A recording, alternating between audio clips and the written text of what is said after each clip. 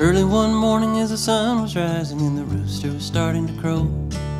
For some strange reason, our milk cow decided she just had to know. Had to have a reason for the tugging and the squeezing. She'd been through so many mornings. She broke down her stall and surprised us all when she came in without warning. Now the cow's in the kitchen at Grandma's house. Can you tell me what to do?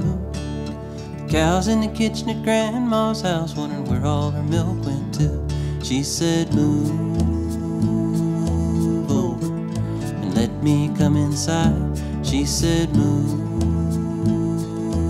over. That's a whole lot of milk to hide.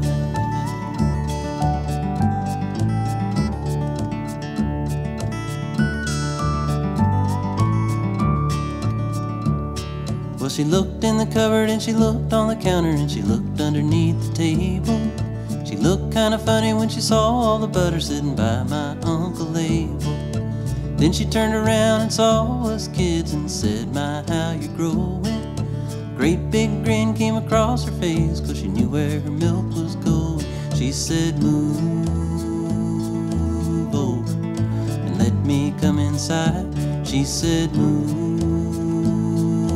over. That's a whole lot of milk to hide.